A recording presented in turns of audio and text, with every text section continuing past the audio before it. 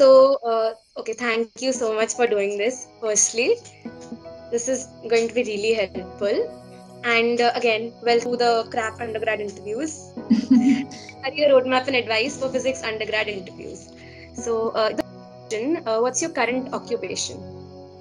Right now, I'm working as a test engineer for the company who makes infrared cameras. So it's a company called Xenics. Uh, I'm I'm in Belgium right now, so uh, yeah, I, I'm working with the infrared cameras now. okay, so ma'am, uh, from your perspective, does your work fall in the conventional or the unconventional spectrum of things? Uh, actually, it's a mix of things. So uh, based on the things that I studied, I I don't work specifically on the topics which I have already pursued before. The topic is different, but uh, but what actually the techniques that I use to investigate the things that I'm doing right now, it, it's the same. So I, I would say that uh, it's a mix of yeah conventional and non-conventional.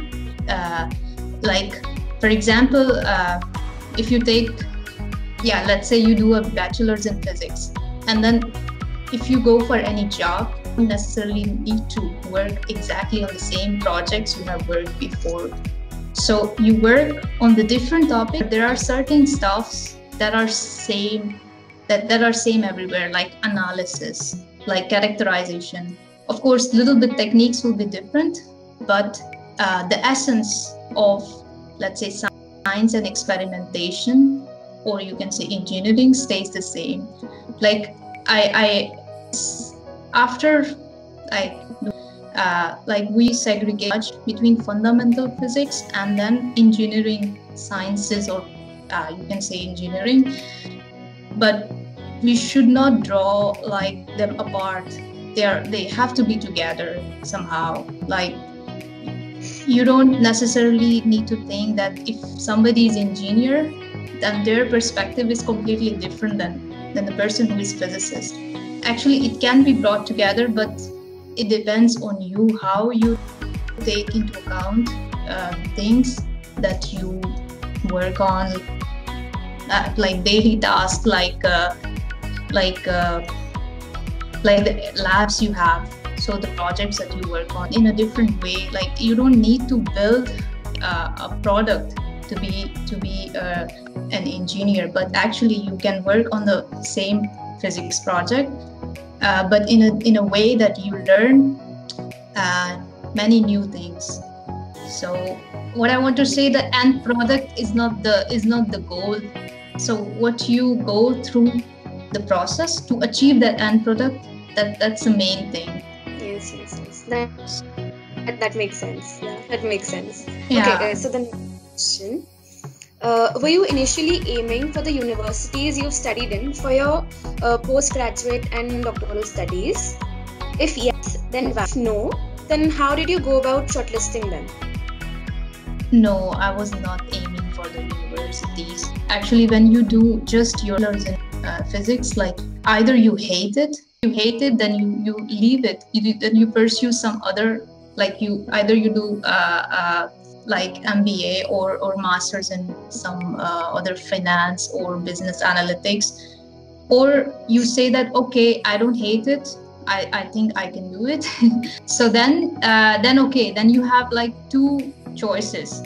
Either either do you do masters in the same physics, uh, uh, physics yeah course, or or if there are also options that you can combine physics with other streams. So uh, like biophysics you do masters in biophysics or, or something else.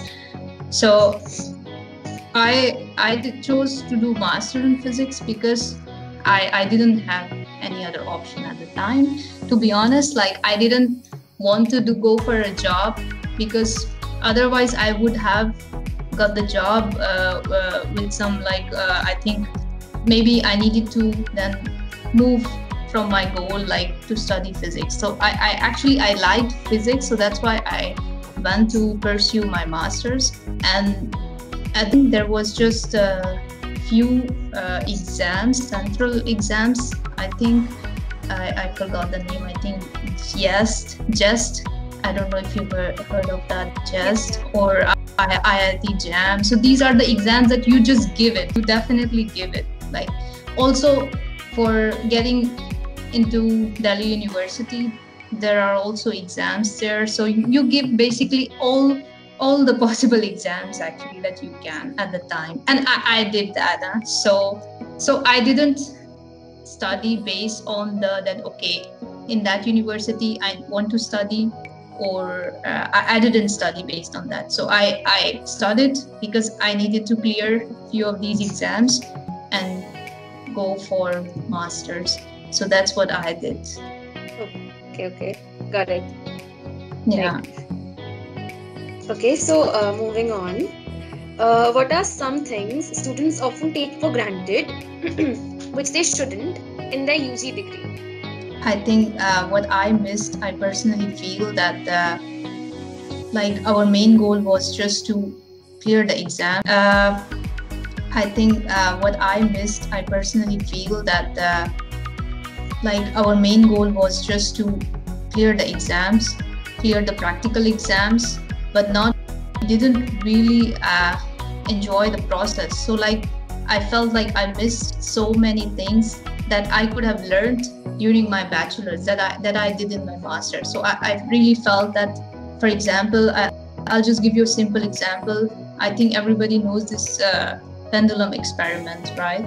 And then you need to make uh, some plot from this pendulum like you need to fit an equation uh, uh, and then I remember that how we did it, we just had this graph paper and then like we really drew the graph with pencil and scale and then we were fitting points and but this whole process can be made automated uh, like i felt like we could have done in a more creative way the result would be same. Like i said the way you do things is very important because the the way you do things in this way you learn more.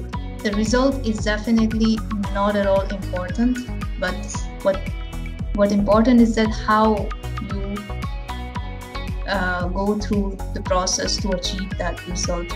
So i feel like all in these uh, projects that we did we could have done more we could have done that more creatively. And i think in this in any kind of like uh, this experiment like i told you this pendulum experiment then i would not just learn only the physics but also uh, some other part of the physics like uh, anal- analyzing data or uh, or you can say making a nice presentation making a nice report on the on the work that you do uh, this is very important actually when you go further in your career. Like reporting is i think is one of the most uh, important thing. Uh, i feel that we could have done better in my in my bsc actually. And and then uh, i felt there were some other things missing like uh, there were less of practical studies like it was more theoretical. Even the exams were theoretical based. Uh, we need to bring like our brain is actually it needs to be triggered you know? And it, it triggers much more with the practical examples with the things that you see not not through not through the books actually. So those things were were really missing during my time. And i hope that uh, now things are improving we don't feel uh, uh when you are when you are in your like bsc you, you don't feel the need for it. You you say that ah what is the need for it? Like i just need results because i need to just clear this exam. But then you really uh, I, I i also have this feeling uh, but you you don't learn any anything new if if you have to focus more on the process. Yeah yeah yeah that's true. Yeah. Okay that was so insightful. Okay so okay the next question. What is the importance of a minor degree in a particular subject? I think that it's very important uh, when you pursue masters uh, because when you go further in your studies nothing is like individual like okay, there are of course you call it individual that maths, but uh, you will see that maths is also not fully maths because there is also functional mathematics and then there there there is a uh, number theory.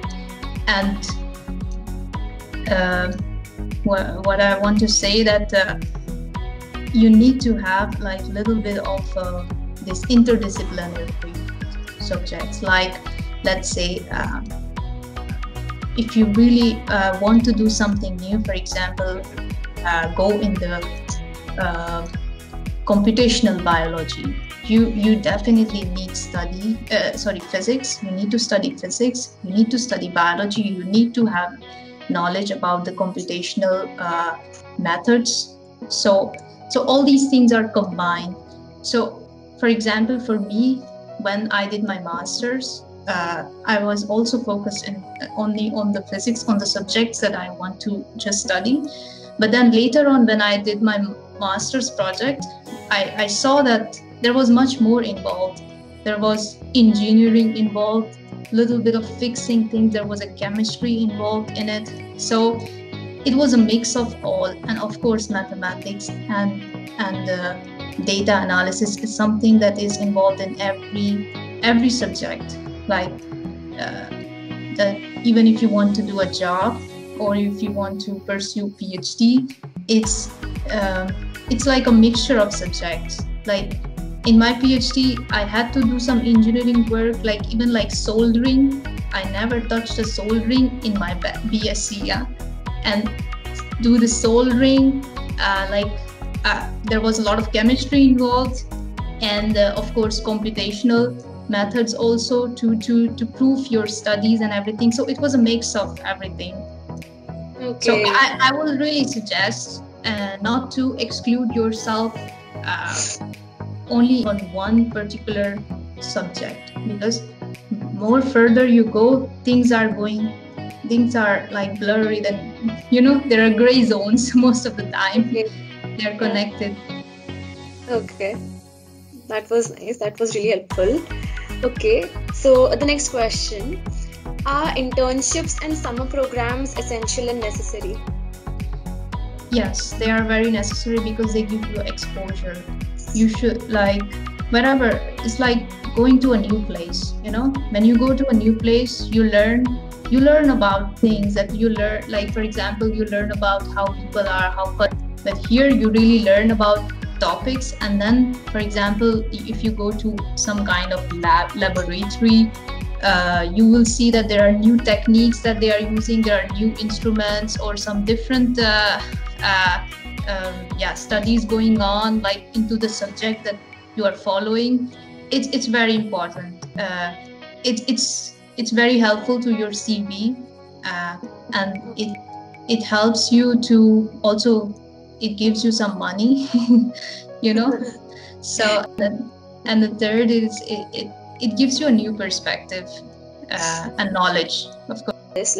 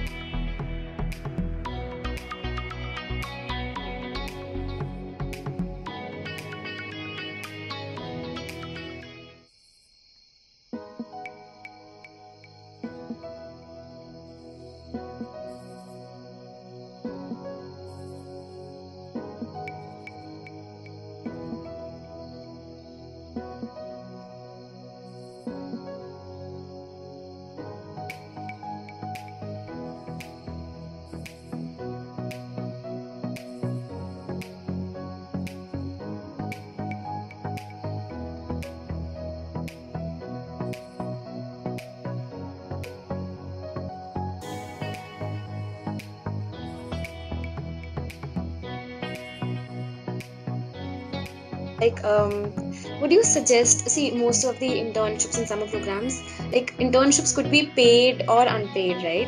So do we focus on uh, where we get into or do we focus on getting like a paid internship or something like if it's a good company or something like that?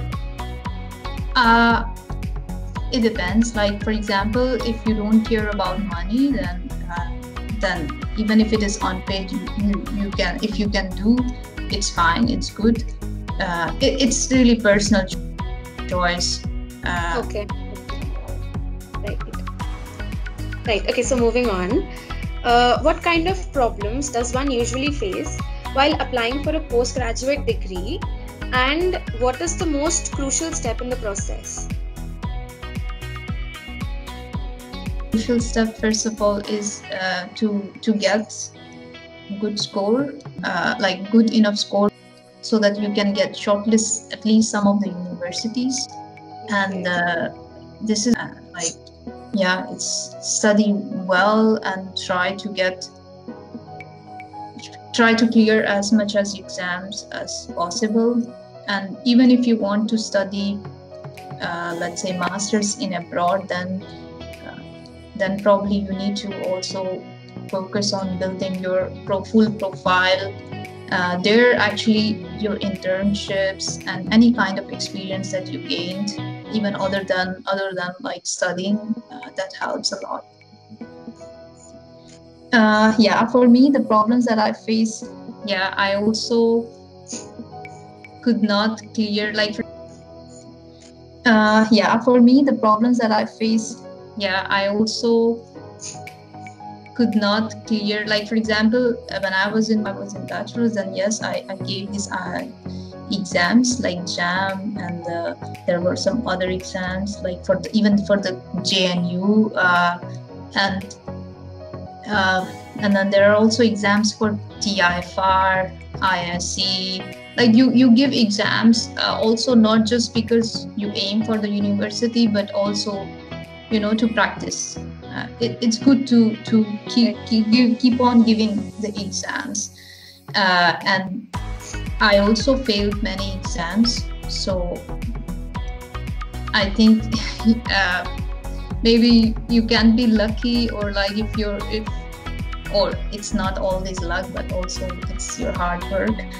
Uh, for me the problem is that at the time we were in rat race like it's it's really like a rat race huh? when we are in just out of our bsc you need to give exam to do your masters and i did uh, um, have this uh, a seat at uh, at IIT JAM. So there, I I got this IIT Bhubaneswar. It was also a new IIT.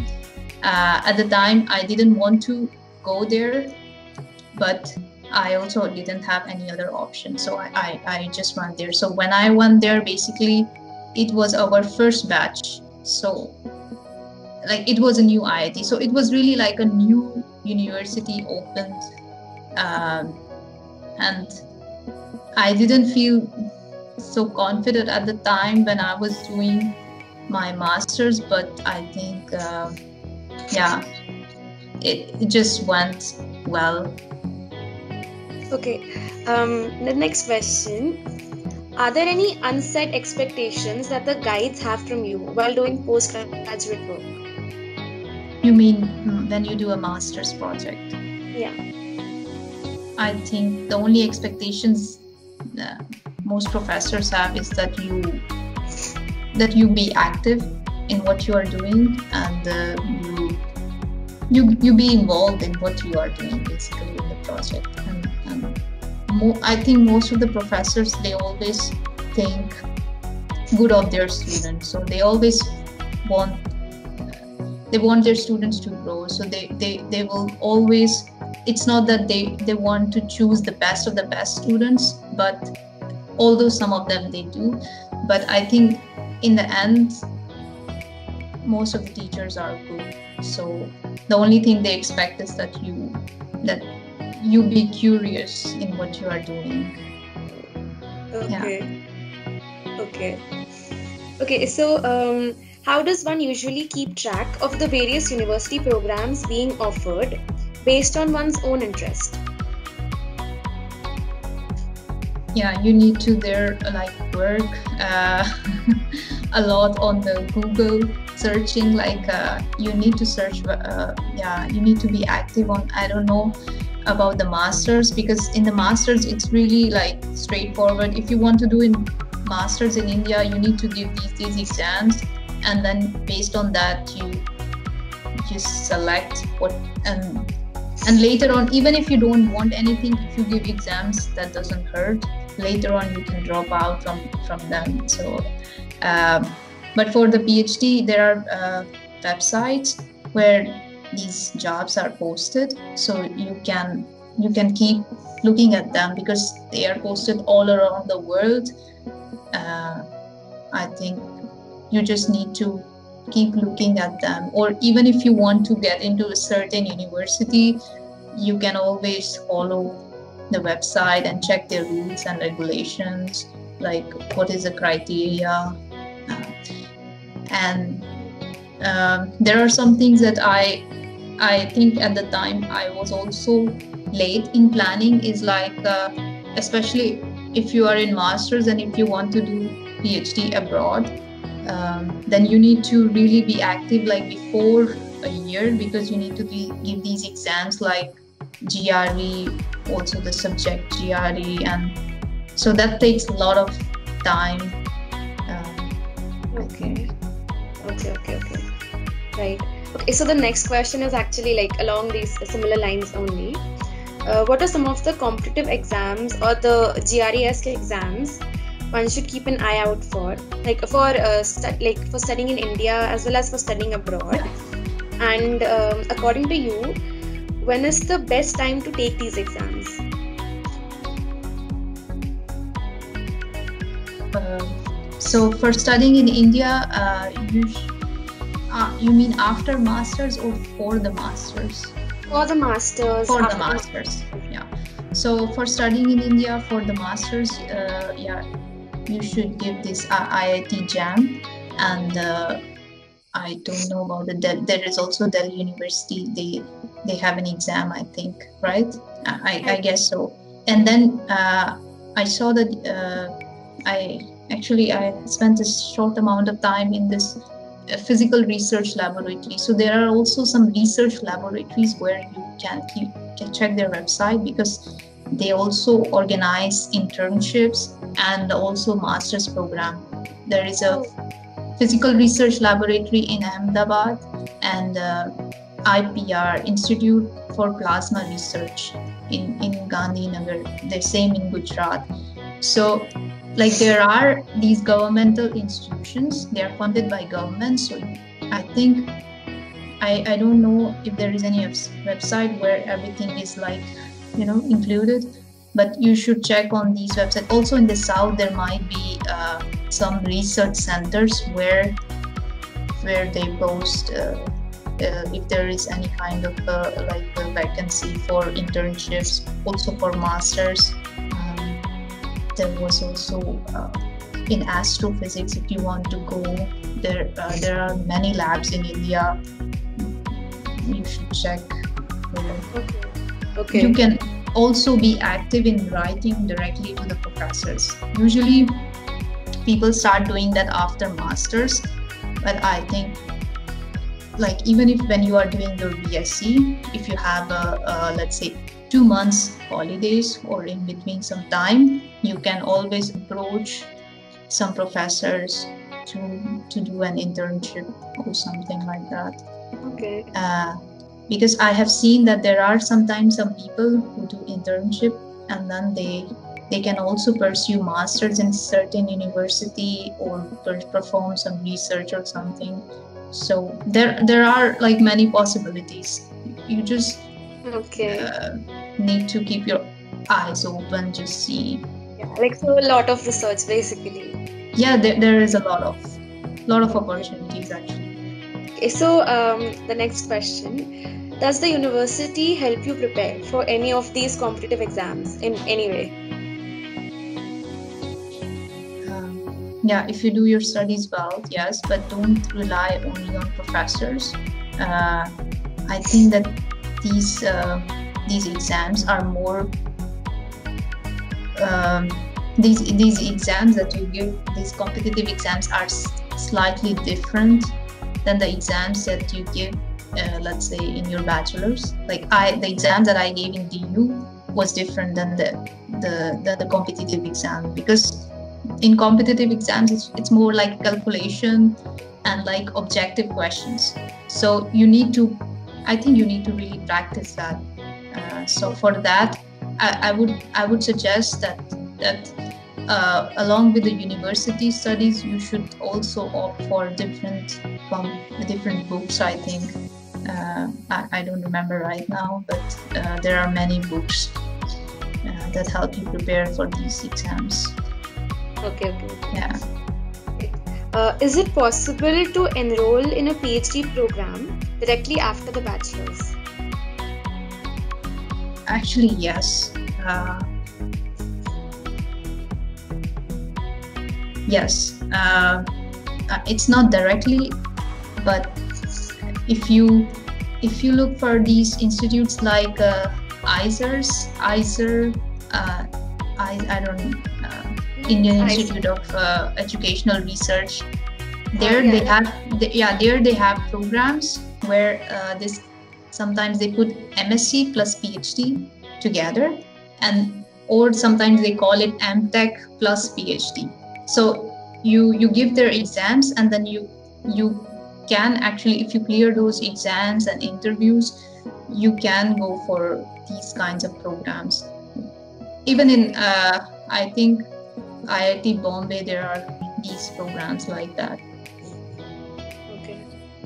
Yeah probably also in du uh, you need to check for these it's called some dual dual programs i think okay okay Right. Okay, so um, has anything extracurricular ever come handy throughout your journey in this subject? Yes, I think especially when you go for job further or uh, even for if you want to go for PhD abroad, then you actually make your CV. So in your CV, you it's it's it's important to to be seen like that that you are not only focused on just on your academic but also you are human and you you like to do other things so these things are are nice i'm not saying that if you don't do like let's say dance other than study then you are then you are very boring or something no but uh, if you have something then it's it's always good it, okay. it, it, it in fact like uh, uh, it actually increases your chance of being selected in, in any any area. Okay. Okay. Yeah. Uh, so, um, what level of understanding of the subject is expected out of an undergraduate student when they enter into a master's program? Uh, I think the basic fundamental physics, like especially the subjects that you read, uh, like uh, yeah, like you study classical physics, quantum physics, and uh, and even maybe solid state physics. Uh, but now I think uh, when you enter the masters, like first year, okay, there will be some courses, but the second year it comes your master's project. So your master's project will be, like I told you, it will be there. You need to use like a little bit of creativity. Like it's not it's not the same same as you do uh, well-defined projects in in BSc, let's say. So.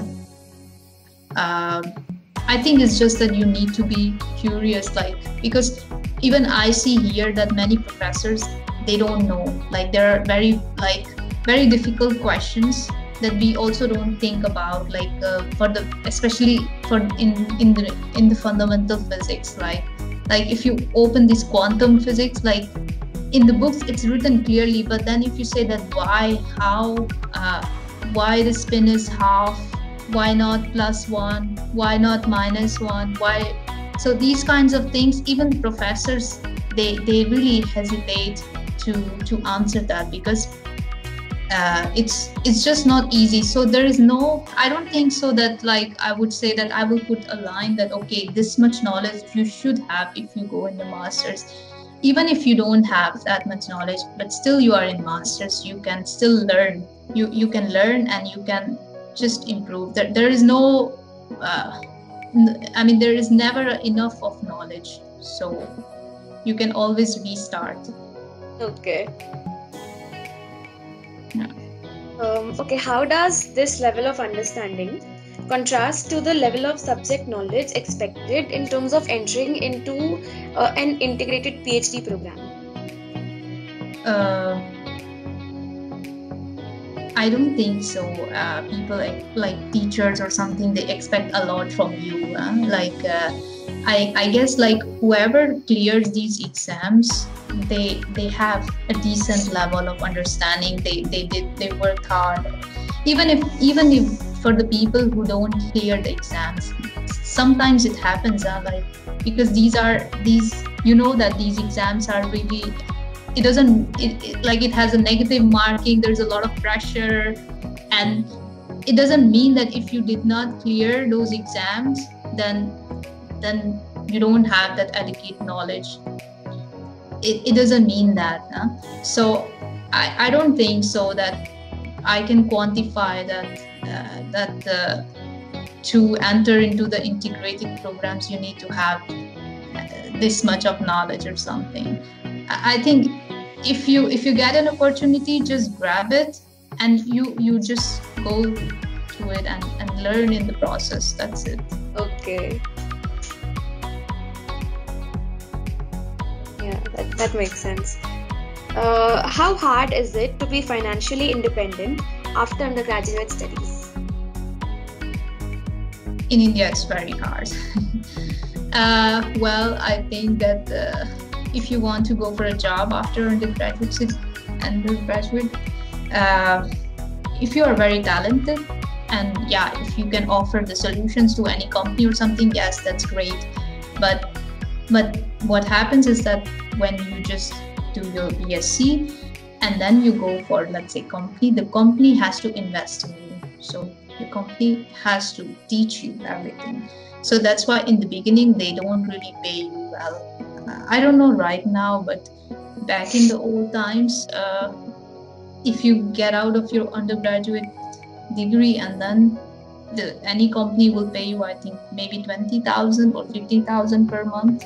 So it's it's I think it's it's difficult uh, these days uh, unless you have some other skill set that you can pursue because there are people who can speak very well and uh, but I, the people that I know that who actually started doing job after BSc, they um, I think afterwards they did a job, but then afterwards they also continued to study something, and then further they they so basically they did some masters and uh, something like in some subject further. Okay, okay, okay, okay. Uh, what was your first major research experience that you had? Um, how has your ability to approach such problems evolved since then? And have you possibly managed uh, to think about a method to the madness? uh, yeah, uh, I think the first uh, experience for me was when I went to uh, internship. So, like I, I remember we did BSc and then yes, there was well-defined projects. You did that. That's good. BSc is done. Then you enter the masters, and then I saw that people, uh, especially who are in this engineering, you know, uh, who are doing BTech, they they are very much involved in applying for internships or something in their holiday period. And then uh, I we also thought that okay, uh, let's do uh, like our class, master's class, and let's try that. Uh, uh, we should also apply for some, let's say, in a research institute or something. So then I did, and I I went for this research internship in in uh, in an institute in Taiwan. So that was also a very new experience for me. Uh, and then there, I really saw big big machines, you know, big setups, like which I didn't see it in my masters. So we were working on this uh, on one only one technique in masters.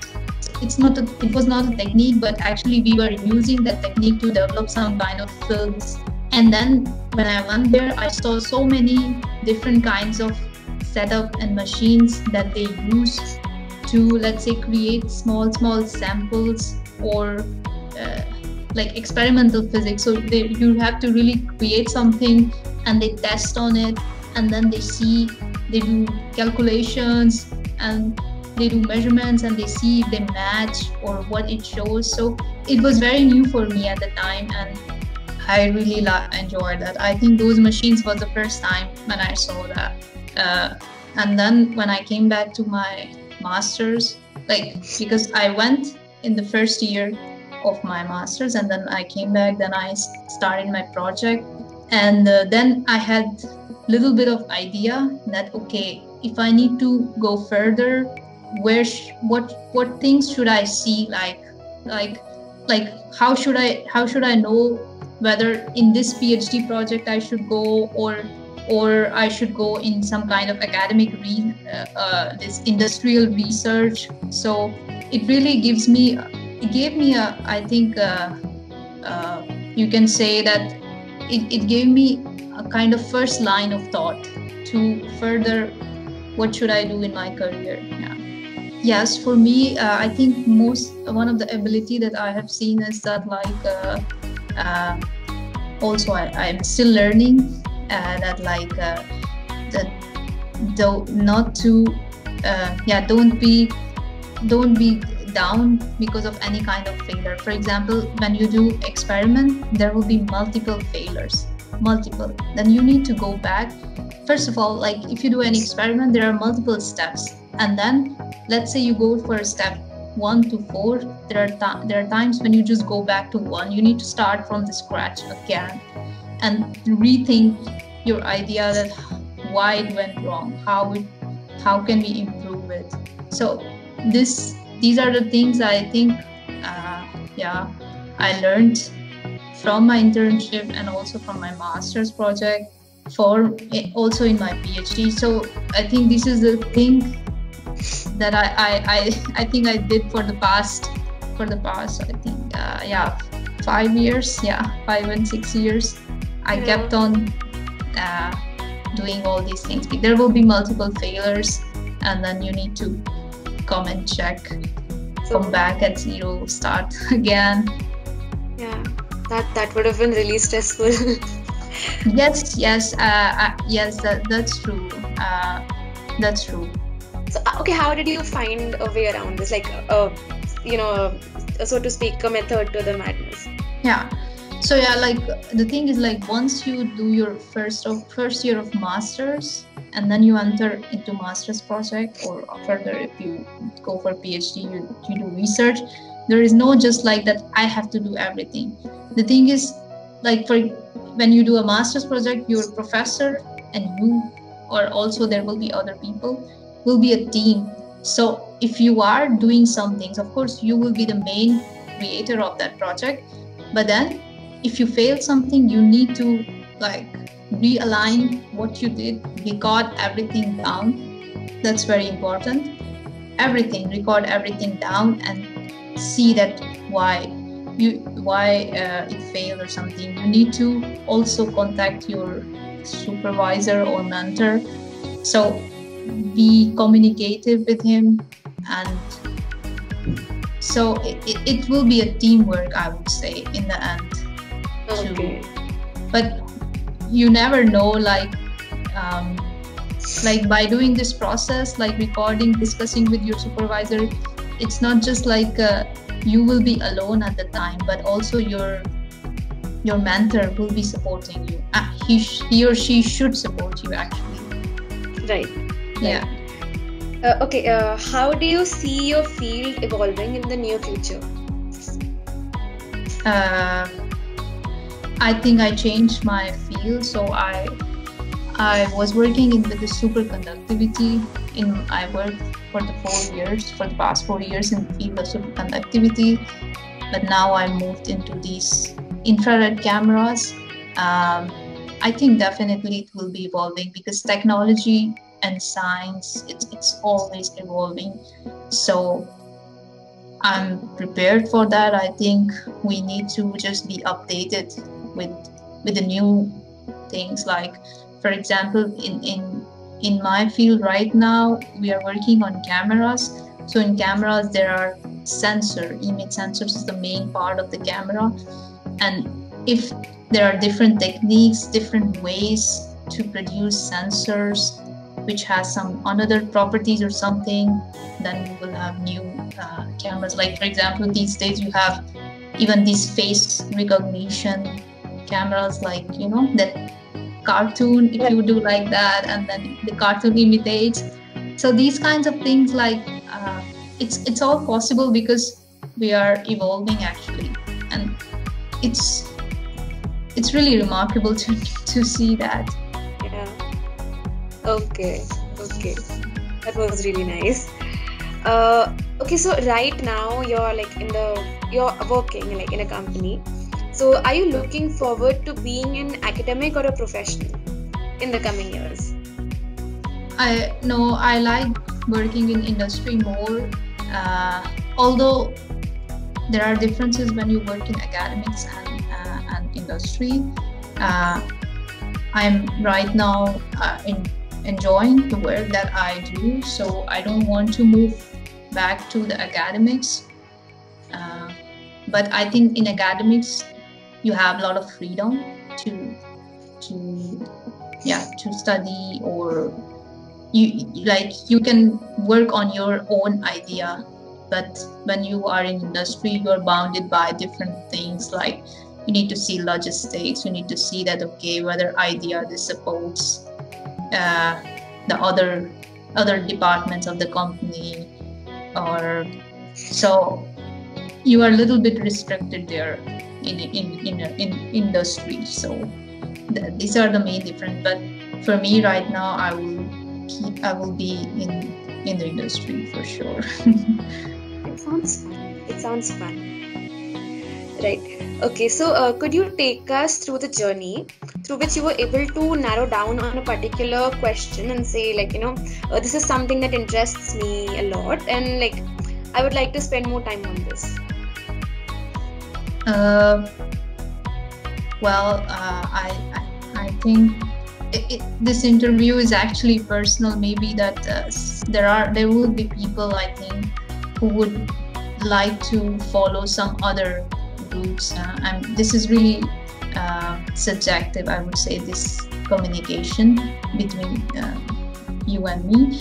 Uh, but there is one thing that i i, I real, realized from from the from my past like bsc msc and you know from my past journeys that uh, we very much focus on the end result but we don't we don't take care of the of the processes that we go through to achieve that process to achieve the result.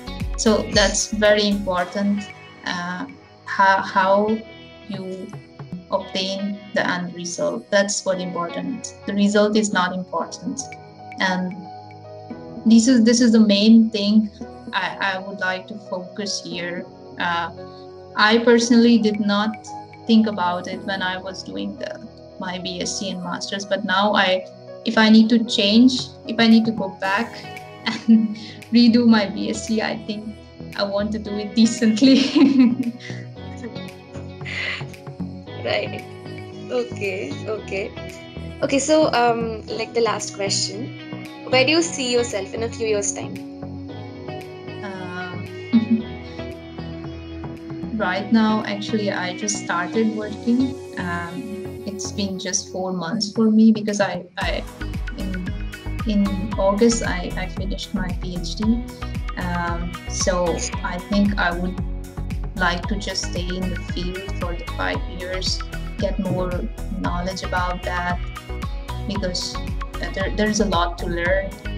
So yeah i think i will just stay not exactly in the same field like infrared cameras but maybe i will expand my uh, view to all different types of cameras as well like not just infrared but also the visible cameras that we have uh, in the phones. So that will be just my aim for the five years coming five years so Okay. nothing nothing special no but that's really good that's really good I think five years now. If I I see that five years is not a long time, it doesn't feel so long. Okay. okay. So this was this was really good, and I mean, thank you so much again. Like you had some really great things to say. It was so helpful.